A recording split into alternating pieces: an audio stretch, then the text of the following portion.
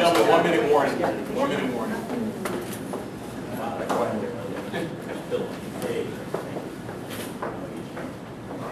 It didn't take one minute, okay, great. Morning, everybody. Morning. So I want to welcome you to the summer youth board and youth council meeting. And we're going to get started, we have a full agenda, so we'll just start with uh, introductions. So Let's start. Uh, Anthony Yang, DYCD. Sandy Gutierrez, USC. Carlos Randall, Workforce Vessel Board. We're going to hear state education department. Uh, George Holmes, Health First. Michelle Gual, Jermaine Williams, DYCD. Andre White, USCD. Susan Haskell, USC. Sarah Hodge, HRA. Stephen Sanchez Mayor, HRA. David Fisher, Center for Youth Employment. Vanessa Rodriguez, DYCD. Daphne Montez, UICD. Sarah Marks, UICD. Brian Hamburg, Mobile Sporting Goods. Maureen O'Connor, Cleveland Library. Ray Wineski, trustees of the Sellers Club Properties. Anthony Sumter, HRA. Ed Donenfeld. Aye. Cisco Rise, Citizens Committee for Children. Wilson, Citizens Committee for Children. And Alicia Murphy, Citizens Committee for Children. And Bill Chong, DYCD. We have the Ryan New York Foundation. So I'm going to turn over to the commissioner for his remarks. Well, I'll be brief because I know we have a very interesting presentation which I've heard now twice. So I want to make sure people have time to digest all the information. Uh, A lot of it's in the written report that you were emailed the other day. I just want to highlight a few things. Well, first of all, I know the meeting was held in March here and I was sick. So let me formally welcome you to what we call DYCD East, you know, West, DYCD West, right? We have three locations, so we have to remind ourselves, so when you have a meeting with DYCD, make sure you know where you're meeting. Wandering the streets of Lower Manhattan. I'm in DYCD East on 123 William, and of course, uh, Sandra is at DYCD Central, which is 161 William. So we're trying to make it work, even though there's only 500 of us scattered in three locations, and we do a lot of conference calls and video conferences and meetings, because I don't want to waste time with staff walking back and forth, which is counterproductive. But I think on the budget, we've done extremely well this year, um, and having been at DYCD for almost 10 years before and going, having gone through 12 rounds of cuts, it's it's just truly amazing uh, to have these kind of budgets. A couple of things I want to flag for you. After a six-year process where this agency began to take over responsibility for community centers and public housing, we've completed the process, and the last 24 centers that are previously operated by the Housing Authority are now going to be operated by nonprofits uh, that we fund. So um, the funding is new baseline, so we're going to be doing a couple of, uh, we're doing actually 15 RFPs next fiscal year. So our Noracco has got her work cut out for them, and two of them are going to be for our community centers, the 80 beacons and the 94 cornerstones of public housing. So we'll have, uh, at the end of the day, 174 community centers, which will be an important part of the strategy that I've really pushed uh, from day one, which is one of program integration. Begin to look at these centers as hubs of organizing where we can co-locate different services to better leverage what we invest. Uh, It was Richard Murphy's vision about using beacons as organizing hubs, and I don't think we've done a good enough job of coming. So we, I want to move from, as I've said numerous times, a collection of contracts to really a comprehensive strategy of community building. And so the beacons and cornerstones will be essential to that responsibility. Um, Denise Williams, who headed our after-school initiative, was promoted and took on responsibility in March as our new deputy commissioner for planning and program integration. And um, Darrell as many of you know, I promoted him to associate commissioner for centers and strategic partnerships. So that's one thing I want to highlight. The other uh, thing that I'm highlighting in the budget is that we've got additional funding to expand residential services for runaway homeless youth. An RFP is being reviewed right now. We look to bring in another 100 beds. And uh, we're very excited about this because the big focus of these 100 beds is to serve gay, lesbian, and transgender youth. Uh, That we asked that they be given a priority, and so we hope to have uh, more than double our, our our residential services in the first year and a half of this administration. And that, those are the key things I want to point out, and the- any questions that people have, I can answer.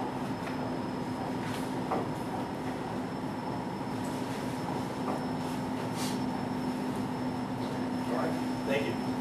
Uh, So next, we're going to have an update on the workforce investment board. I'm to turn over to Randall. Thank you. Uh, So hi, everyone. Um, I know Chris Neal's on the agenda for today, but I am not Chris. Uh, So Chris Neal is our new director. Uh, We're really excited to have him on board. He um, brings many years of experience from SBS, including uh, some time he worked with FedEx when working uh, on youth workforce, youth workforce programs.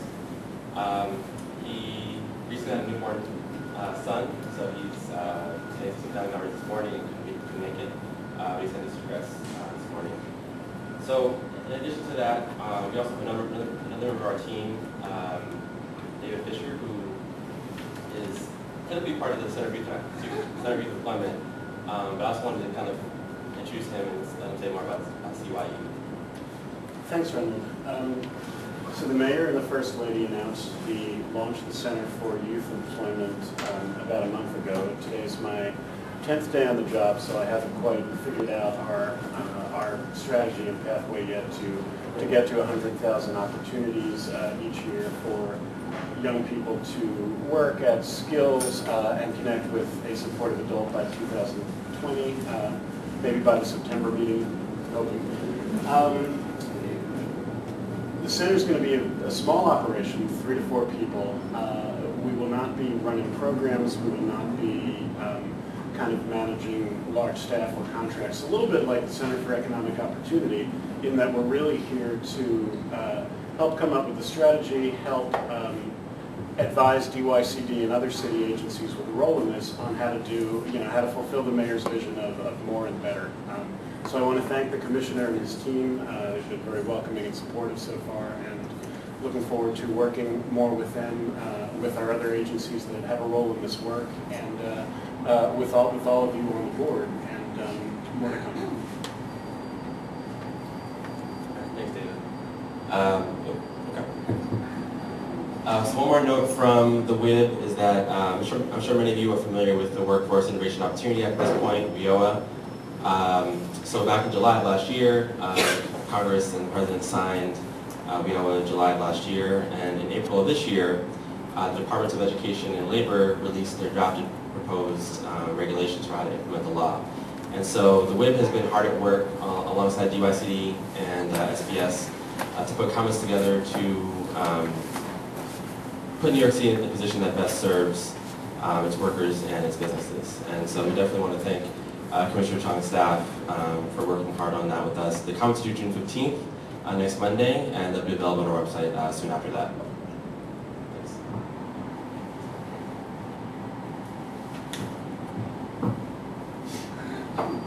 So we're using the mic, okay. All right, so, thank you. Were there any questions? Any questions? No? Great. All right, so we're going to move on to the summer youth employment um, uh, jobs campaign, and I'm just going to give a quick um, update and then also uh, provide a few thank yous. So um, right now, things are really going well with the campaign. Uh, The campaign's on target to hit the goal of 200 new private sector work sites, and which will happen sometime later this year. Uh, The campaign has really been uh, really multi-sector or multi-faceted. Um, The youth employment providers, other city agencies besides DYCD, the youth board, the youth council, the WIB have all contributed to um, moving these numbers forward. And really, there's a lot of thank yous to go around in this room. So many of you stepped up, youth board, youth council members stepped up and really provided uh, references and, and uh, to work sites and really have been uh, helpful in building the campaign out.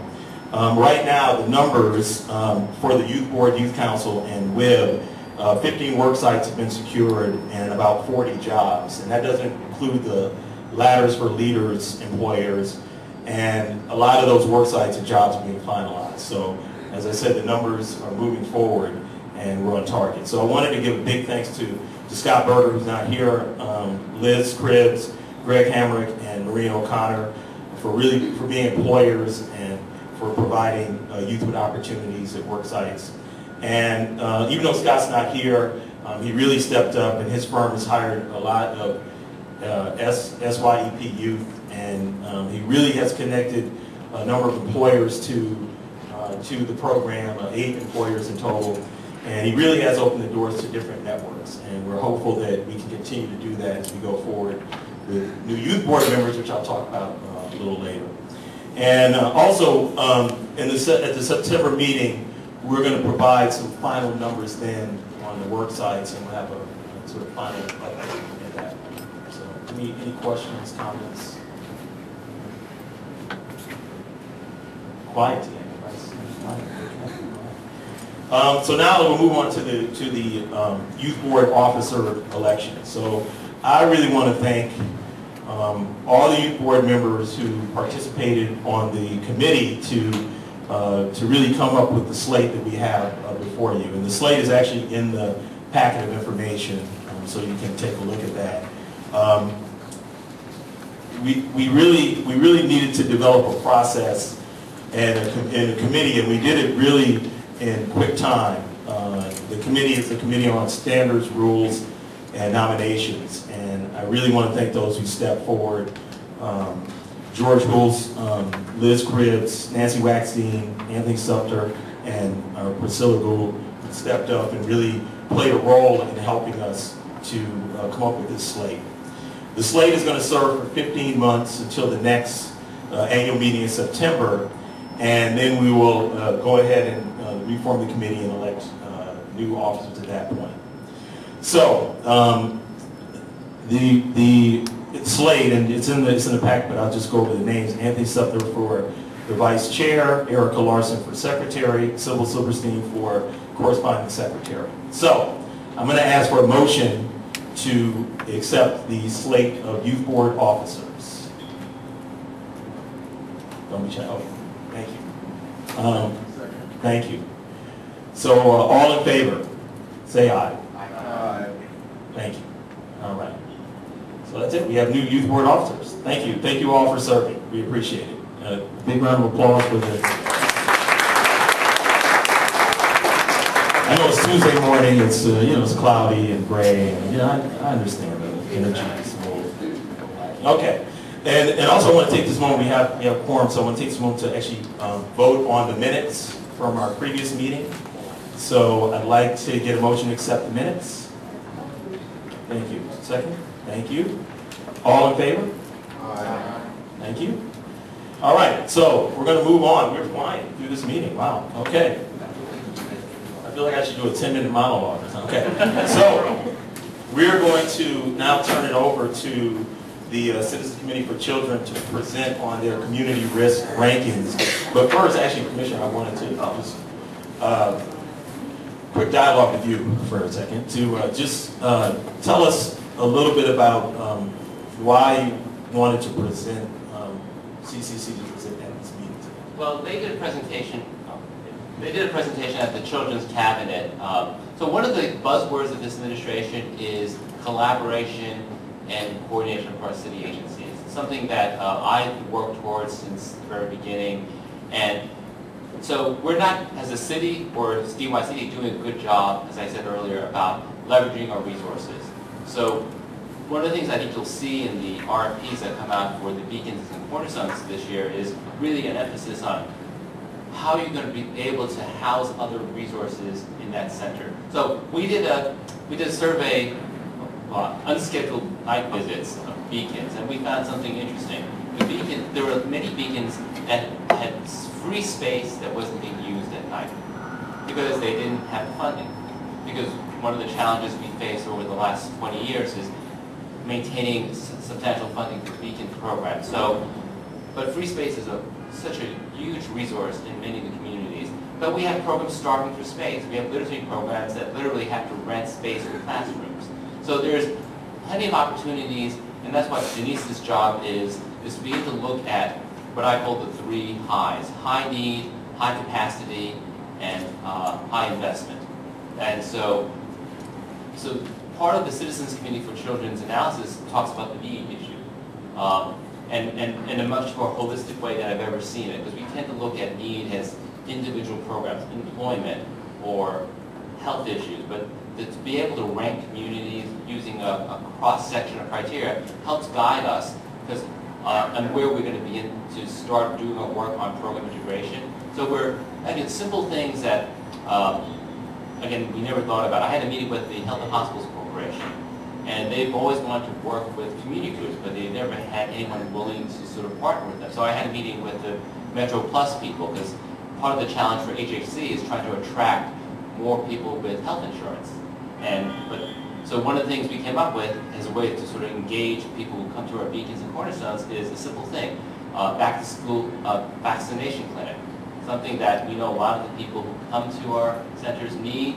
It's a way of bring, providing a direct service to them and also perhaps converting some of these people to Metro Plus enrollees. So, but the data, we, what we don't have is the data about what are the needs in each community, and this is what I think the, the ranking system developed by Children, Citizens League for Children helps us do. So we're actually having them come back in August to do a presentation to our senior management meeting, which is basically all our assistant commissioners and senior staff who meet on a monthly basis, and the agenda is how do we accomplish program integration. I mean, to give you one small example, and I'll turn it over to them. One of the things that we have is we have nine or 10 programs in DYCD under four different assistant commissioners that serve 16 to 24 year olds. They've never talked to each other until Denise convened the meeting. Uh, so, and they're all specialized services. Young fathers, you have SYP, you have programs for disconnected youth. And so part of what we're trying to do is not only geographical integration, but how we can, to leverage our resources. The Summer Youth Employment Program this year, we're doubling the number of young people who are in the vulnerable youth jobs. Those are young people referred by ACS, probation, or homeless services. We've never thought about using this as an on-ramp to our other suite of services. So we do these one-shot, six-week internships for these young people, but we wouldn't build on that experience. So a lot of what we're trying to do now is, in a time of relative funding stability, is to begin to be more strategic about things. Because, you know, I, I, this is the fourth mayor I've worked for. So I know what goes up will come down. The question is when, when, when, when things are relatively stable on the funding side, let's really use this opportunity to create collaboration internally, collaboration externally, not only with, uh, among the nonprofits we fund, but with other city agencies. So that's the context of uh, why I wanted them to come, because I think the data is really rich. It's all out there, but it's never been, I think, packaged in this way. Uh, Commissioner, um, first, let let me say congratulations. I I think what you're talking about is a great program, and I think you uh, collaborated with Metro Plus uh, was certainly to be congratulated. They're uh, city-owned agency. Uh, I think many people who work for the city don't understand, the city actually owns two health insurance plans. So they get revenue from Metro Plus, and what that means is the surplus. So if you're a for-profit organization like United, you give your surplus to someone in Florida or Arizona or California retiree. If you're Metro Plus, you give your surplus to Harlem Hospital or Kings County or one of the HHC hospitals. HHC also owns Health First, and I'm a vice president at Health First. We are probably three times as large as Metro Plus. So Metro Plus has about 400,000 members. We have 1,100,000 members. We insure one out of every 10 people who live in the city of New York. Any surplus that we get at Health First, we also give to Kings County, we give to Harlem Hospital, Coney Island, and all the HHC hospitals. We are very active in the community, and so I'd like to coordinate this with MetroPlus. I know Roger and the other people in MetroPlus. I know everyone who runs MetroPlus, they all know me. We are very active at this time. We're working in Van Dyke and Brownsville. I was looking at the list here. It's one of the areas where we have the uh, highest uh, concentration of poor health. We're very active at the Claremont Center in um, Claremont, in, in uh, the Bronx. It also is the poorest congressional district in the United States. Um, So we, we are very active and we're on the ground. We're doing things in a, in a very aggressive way. We'd love to partner with DYCD in this regard. I mean, we have the resources. I'm the vice president. So I'm probably one of the few vice presidents who anyone in New York City knows. So, No, I- I think, you know, we had a so, big so, this- so we, um, you know, we, we'd love to be a part of this, and, and the fact that I'm here, and the fact that I know all these sites, the fact that I know the people who, who work at your sites, and they know me and they know Health First, uh, we most certainly like to be a part of that partnership. I think you should touch base with Seth Seth Diamond, because I know he's heading the outreach efforts and coordinating with Darrell Rattray. But, you know, Yeah, we love to, I think we just did something with your group the other day, didn't we? Right. Support The, uh, something Yeah, a few days ago? the- the conference trauma, uh, Yeah, and I, and I've never gotten a call from your agency, under you or your prior commissioner, that have said no. So I think that's an indication of our willingness as a not-for-profit managed care plan owned by all the hospitals in New York City to, uh, partner with our constituents. we Well, welcome the you. people you're talking about are my, they're my members. Yeah. Yeah. Um, One of the things that we just started last year is we funded uh, 51 literacy zones across the state. 17 are in New York City, you have to be, to become a literacy zone, you have to be in either a very high poverty area or concentration of in English proficiency. But they have case managers and other services in those zones. So any way that we could connect those, there's a actual website you could go to that lists the zone over there. You should uh, talk to Susan Haskell, um, because um, the idea of co-locating services in the beacons and cornerstones isn't just limited to uh, DYCD funded programs. I mean, that's, I use the HHC example, but, uh, you know, we know that, you know, beacons especially, they're in schools, they have unlimited classroom space. They're open in the evenings, they're open on Saturday, and to the extent we can drive traffic there, whether it's something we fund, whether it's something that somebody else funds. I mean, that was Richard Murphy's vision, and I don't think the city has really done a good enough job of implementing it. Yeah, we, we, we fund, on Wednesday, we fund uh, exercise and Zumba classes, in Van Dyke, Health First. We fund them in Claremont, we fund them in a number of other places. Uh, we also funded a Mother's Day event with, with uh, Councilwoman Gibson in Claremont. We funded a Mother's Day event in Brownsville. We fund- we funded a mother, uh, father and daughter dance in Claremont. So, you know, there are companies that, that want to do this sort of work, and we're one of them, so, So Su- you know, Susan is a please, please use our resources. No, no, and Susan, I think, would be the point person, because Susan oversees. I'm uh, coming after you, George, watch out. Well, You get what you wish for. You know, you know, partnership is a two-way street. You have an awful lot of people who, when they sign up their children for summer youth program, they don't have insurance. No one knows where those names go. And so, you know, I I spoke to Marjorie Cardigan about this, because, you know, the Department of Education gives us a lot of leads on 560 schools. DYCD, I don't know what happens to all your leads, when people say they don't have insurance, they'd like to be contacted, no one follows up with it. Well, that's why we want to coordinate with Metro Plus, since they are uh, the official arm of HHC. So Susan will follow up with you after we reach out to Seth Diamond. Okay. Excuse me, Robert, what's, what's that on the website? Uh, www dot nys dot, or no, hyphen education, hyphen literacy, hyphen zones with an S. Can you write it down? And I'll pass it around. I'll send it out. Yeah, yeah. Try to get it along. That'd be easy for the second Oh, yeah, yeah. Ready?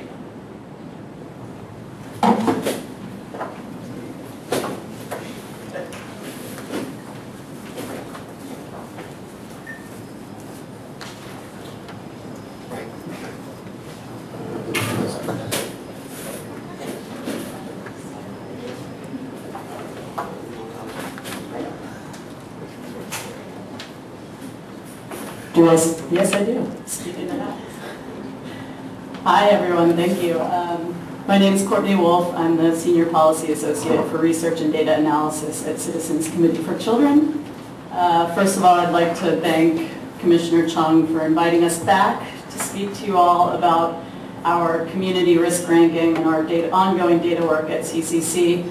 Um, We're really excited that the release of this has garnered so much interest from different city agencies. Um, We're really excited that, that people have found this to be useful. Um, So I'm just going to go through a little bit of what the risk ranking describes, um, a little bit about our, our data program in general, and please feel free to interrupt me with questions if you have specific questions, and I'll also take some questions at the end. Um, just really quickly, for those of you who don't know about Citizens Committee for Children, we're a 71-year-old uh, multi-issue advocacy, child advocacy organization. Um, A big part of our work is uh, data collection and dissemination. Um, Over the past 20-plus years, we've collected uh, essentially the largest municipal level database of child well-being indicators in the world. Um, we have put out 11 editions of the Keeping Track Data Book that I think all of you got when you got here. Um, so that's the 11th edition. And the community risk ranking has been part of that book uh, for the past 11 years. So we've been producing that since 1993. Um, the methodology has changed from year to year because data changes year to year or the availability of data has changed dramatically over the past 20 years. Um, so over the past uh, two years, we did a lot of research on best practices of social well-being indicators and also social well-being indices um, to try to create a methodology that is very forward-looking, um, something that's simple to understand, transparent, easily replicable, um, and something that we can reasonably expect to collect all the same indicators year after year so that we can produce this in the future going forward. Um, so what we've come up with is we have selected 18 indicators uh, grouped within six domains of well-being. Um, and we had some criteria in terms of the indicators we selected. Uh, so we want to measure the well-being of children, families, and their communities and across multiple domains of well-being because we know that well-being isn't just about economic security or health or education, but it's across all of those domains. Um, we try to encompass all stages of child and youth development. Uh, again, we want reliable sources that will be comparable over time. And then two things that, that we included in our criteria so that, you know, we can base some future work off of this is that we looked for indicators that would be reasonably comparable across other geographies so that maybe we could start comparing New York City and its communities to other geographies, uh, both cities, states, the U.S., and even internationally.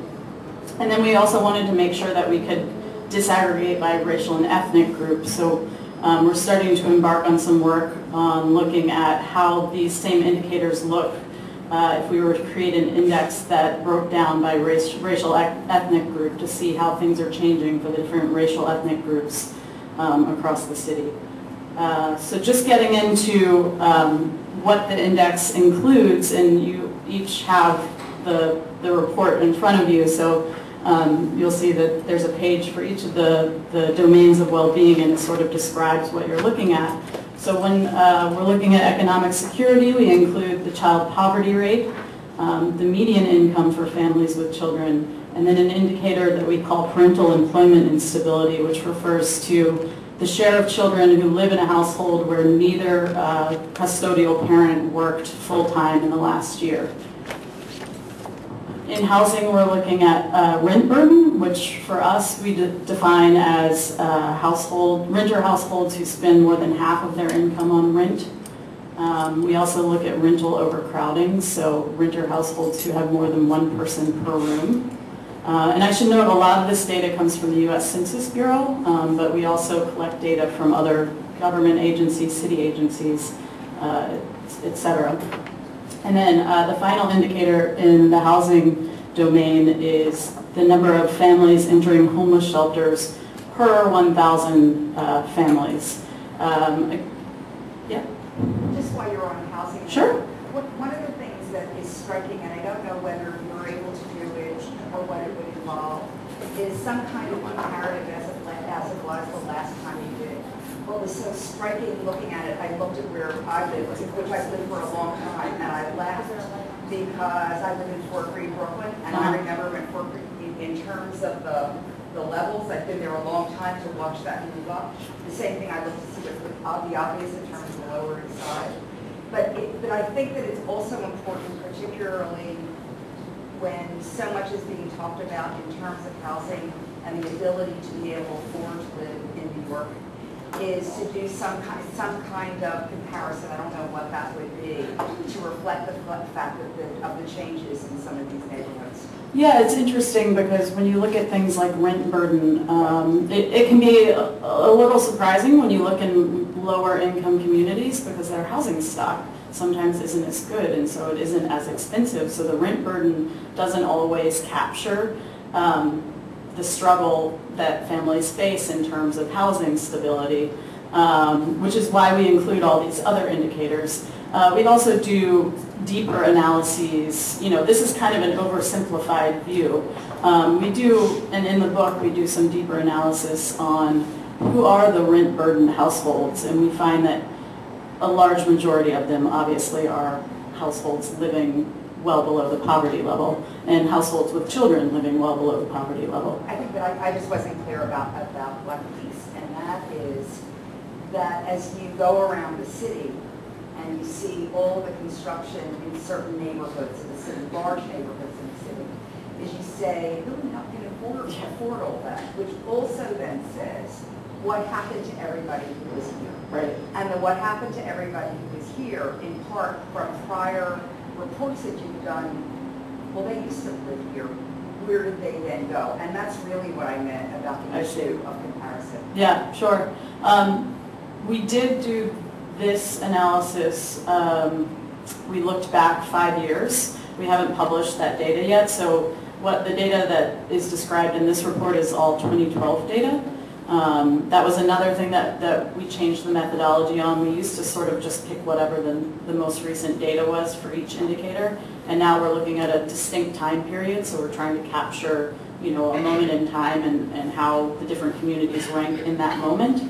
Um, So the data that's in the report is 2012. We have this data going back to 2008. And, you know, we'll be going forward. So one of the things we'll be doing in the future is looking at sort of this over time analysis using this data. Um, But, but I think to get at your point, it takes a, a bit of a deeper dive to understand what's going on in terms of in-migration and out-migration of communities and, and, you know, what happens when the housing stock, when brand-new condo buildings, large, you know, the housing stock is changing. Um, You know, that's a little beyond the scope of this report, but it certainly, you know, this report helps us sort of frame the questions that we want to look at in terms of that. Um, So just moving on to the, the health domain. Um, The first thing we have here is the infant mortality rate, which is, you know, kind of used the world over in terms of uh, a proxy for general well-being in communities. Uh, We also look at the percentage of low birth weight babies, um, which reflects sort of healthcare access, but also, um, you know, if you have a large percentage of low birth weight babies, presumably you may have uh, a larger percentage of children who may have additional health problems down the road. Um, And then we look at the share of children without health insurance, um, which citywide is very, very low. Um, In some communities, it's it's significantly higher. In education, we look at early education enrollment, so we're looking at the share of three and four-year-olds who are enrolled in some sort of early education program, and this is an estimate based on census data. Um, We also look at elementary and middle school reading and math tests, uh, pass rates, so that's the Common Core standards that we're looking at. Um, And then we look at high school graduation rate, and that's four-year as of June. Um, In youth, so now we're looking at sort of a different developmental stage. We're looking at uh, the teen birth rate, which we get from DOHMH.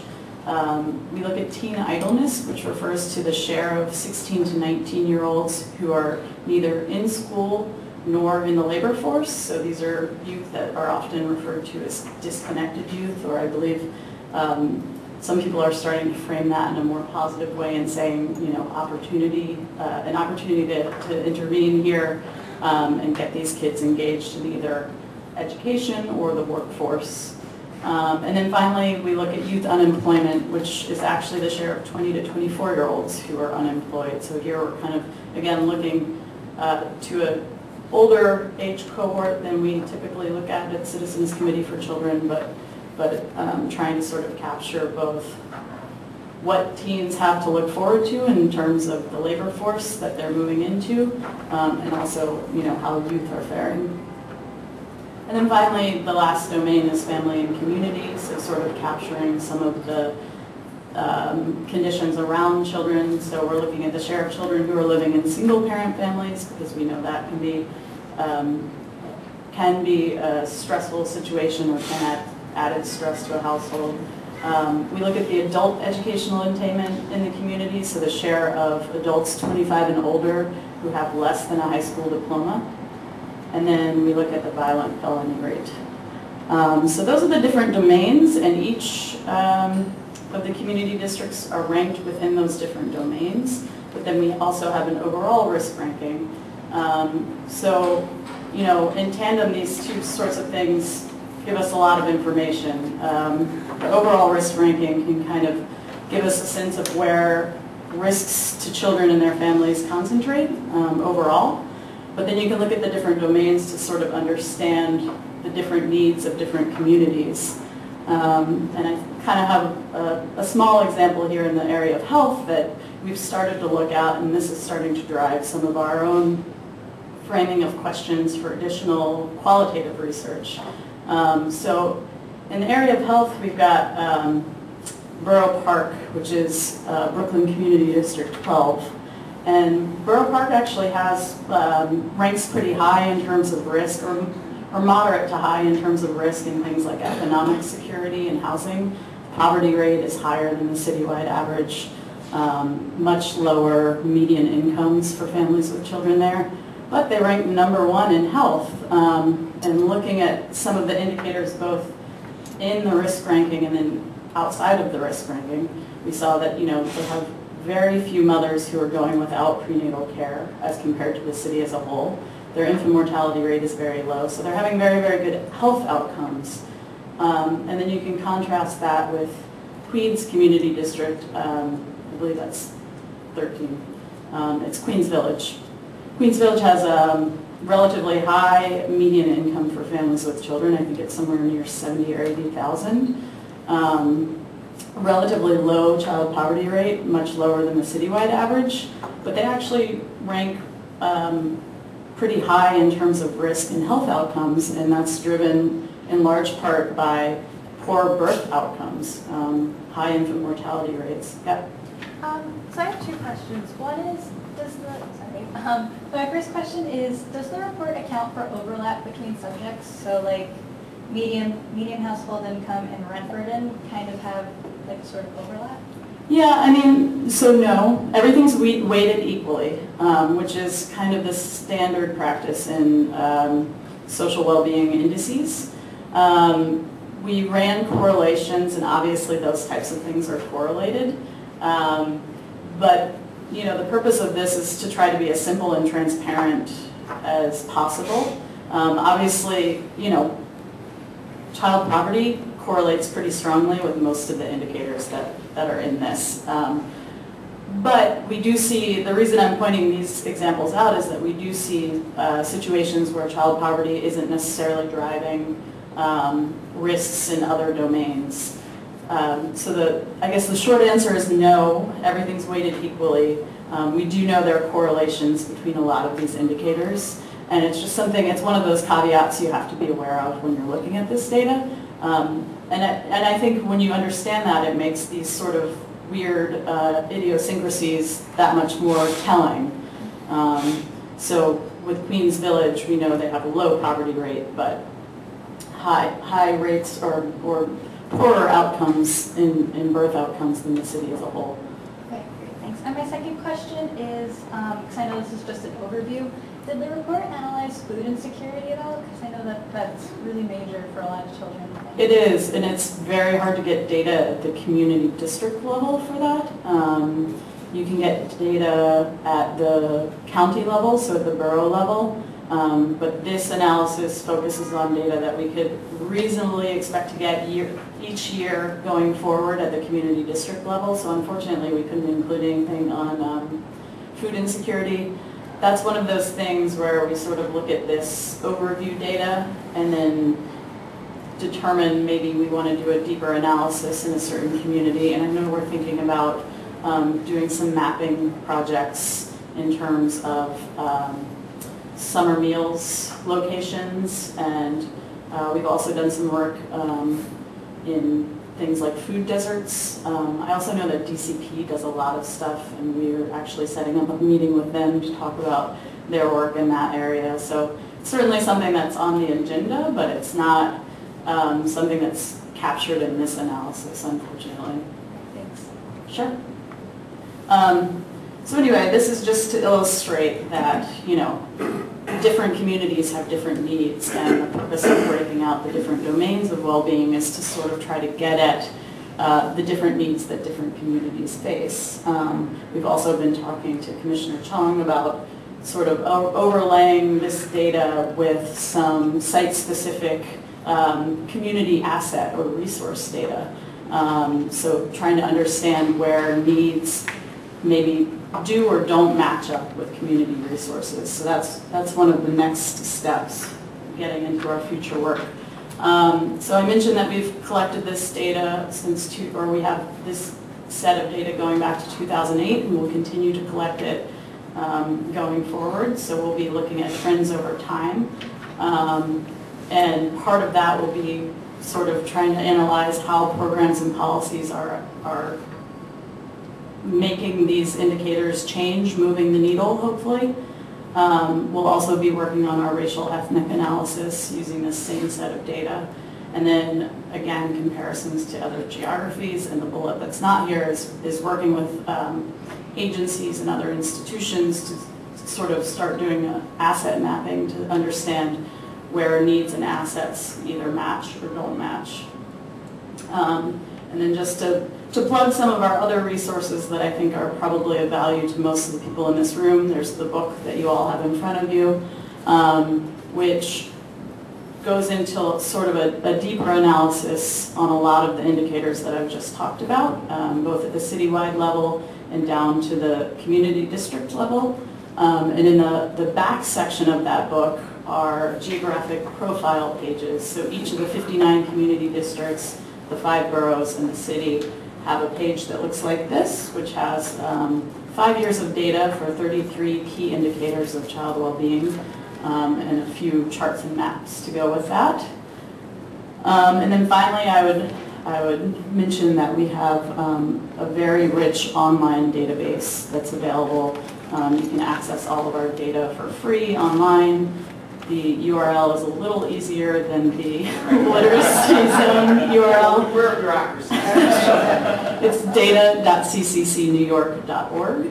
Um, And you can explore, uh, we have hundreds of indicators um, across the 59 community districts, the five boroughs. We also include um, school districts, UHF districts, um, and indicators in all, you know, across all domains of of child well-being. Um, You can do maps, you can do charts, you can download these images, you can download raw data. Um, We hope it's a really useful tool um, for people like yourselves, so I would urge you to take a look at that. And it's updated, it's evergreen, so it's updated as soon as new data becomes available, whereas the book we put out every two years, um, this will always have the latest data. And I think that's it. So I'd be happy to take any further questions. Yeah. Um, great, this is a lot of information, it's great. Um, Without data, you can't pinpoint certain situations. Me looking through this, the first I looked at, what I looked at, and it made it easy for me to pinpoint that on one of the benefits house, right? And the highest ranking they got was forty, and that was in, um, housing, which is incredible. Um, They had forty-five ranking situations. Being forty is just, is just housing, that's, that's remarkable. Me to be able to pinpoint that, I can share that information with other people, other than other agencies, I think that's great. Thank you. Thank you. So you mentioned before that um, CCC is getting into, or at at some point later on, you're going to look at the policies and how they impact certain data. Sure. Um, is- Do you have anything from your preliminary research that shows like what, what policies did merit really make an impact so far? I mean, so we look at um, a lot of anal, we do our own analyses, but there are also other analyses out there that inform our priorities um, and our understanding of policy. I mean, a lot of the work that we do is around uh, child poverty, um, and to a large degree, we do know the programs that are working, um, thanks to a lot of the work done by the Center for Economic Opportunity and their um, their CEO child, or their CEO poverty measure. Um, That analysis really shows that things like the earned income tax credit, food stamps, things that are targeted towards families with children are very much working to lift families with children uh, out of poverty. Um, You know, in terms of our own analyses, that's sort of work that we're just now embarking on. um, And starting to link this data to some of the more programmatic data, working with DYCD and other agencies um, to understand how the different programs that they're implementing are affecting different communities. You know, that's a work in progress, so we don't actually have anything to report on, on that, um, but we'll definitely, hopefully be producing some things um, that get at that.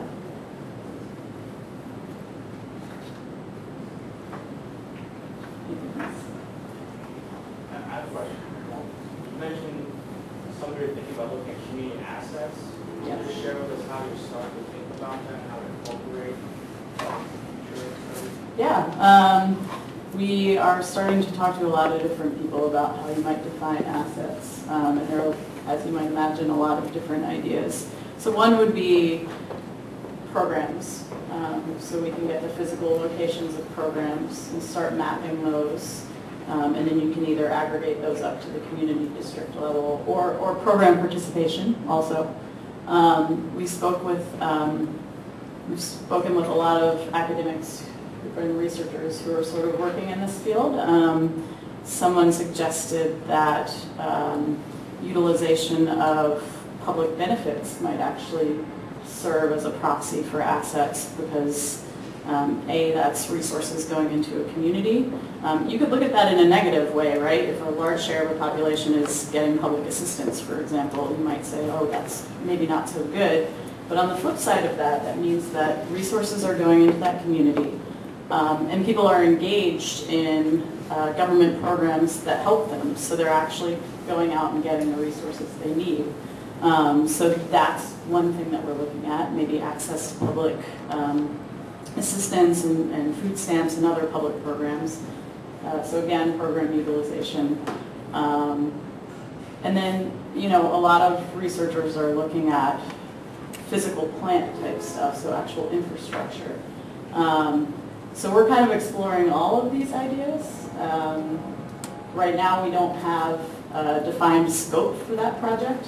Um, I think we're going to be engaging you guys and other city agencies to kind of understand how um, different uh, constituents think of community assets to inform that work.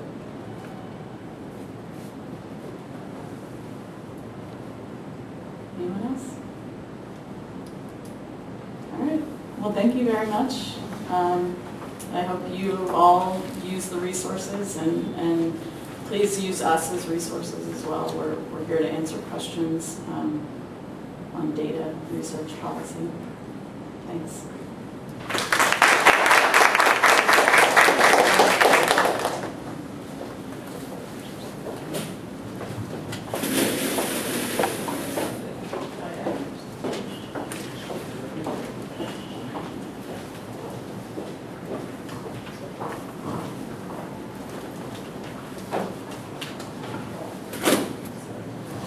Okay, uh, so before we wrap up, just wanted to point to a couple future items. Um, First is that we are in the process of, where there's, the- there are several candidates for the youth board that are in the process of being vetted, and we hope that they will begin with us in September at the, at the first meeting of the new year. So um, we're we're hopeful that that will happen, yes.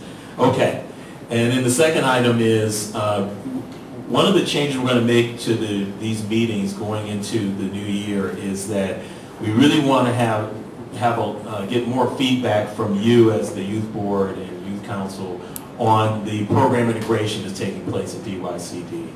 And um, actually, Robert and, and George actually modeled this very well today in providing feedback about ways that DYCD can connect different programs. So we really are asking you to really think about that because we're going to try to provide more space at meetings for your feedback. So we really want you to be vocal and engaged and involved. And that's sort of something we want to try to move forward with the new iteration of this, um, this board and the youth council. So I'm asking you each to step forward and provide us with as much information and feedback as possible. And we'll be in touch over the summer to, to give you some more details about what we're thinking. So with that, are any announcements before we close out? Have a nice summer. Have a great summer. Enjoy the warm weather. We'll see you in September. Thank you, everybody.